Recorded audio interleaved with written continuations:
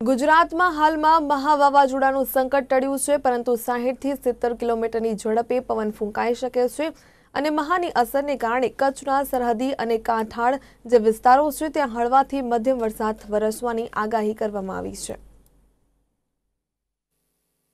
અગાઉ વાયુ વાવાઝોડા બાદ હવે મહા વાવાઝોડાના કારણે તંત્ર એલર્ટ છે અને તમામ વિભાગો પણ સતર્ક છે. ત્યારે ભુજ ખાતે જિલ્લા કક્ષાના કંટ્રોલ રૂમ દ્વારા પણ દરેક પરિસ્થિતિ પર ચાંપતી નજર રાખવામાં આવી રહી છે.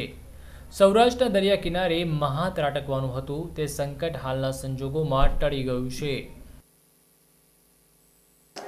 અરબી સમુદ્રમાં ઊભા થયેલા મહા મહા નામના વાવાઝોડા અંતર્ગત કચ્છની અંદર જે છે કાંઠાળા વિસ્તાર અને એના હિન્ટરલેન્ડ ભાગોની અંદર વરસાદ પડવાની શક્યતા છે, જે હળવાથી મધ્યમ પ્રકારનો હોઈ શકે.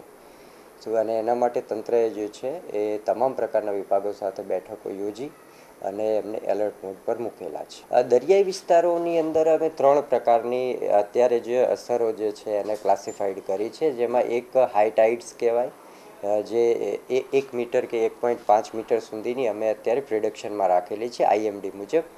વધુમાં ત્યાં પવન ફૂંકાઈ શકે છે ફિફ્ટી ટુ સિક્સટી કિલોમીટર્સની આસપાસ. અને તદુપરાંત લો લેઇંગ એરિયાની અંદર પાણી ભરાઈ શકે ફ્લડિંગ તે તો આ ત્રણેય સિચ્યુએશન માટે નિયુક્ત કરાયેલા લાઇઝનિંગ ઓફિસરો દ્વારા સતત મોનિટરિંગ્સ અને ફિલ્ડ વિઝિટો દ્વારા જે છે એની એલર્ટનેસ ચકાસવામાં આવે છે.